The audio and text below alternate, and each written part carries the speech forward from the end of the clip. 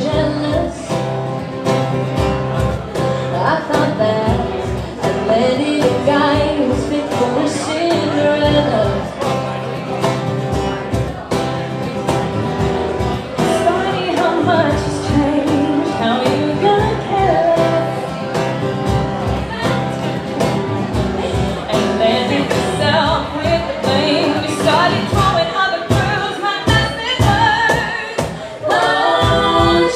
welcome your name.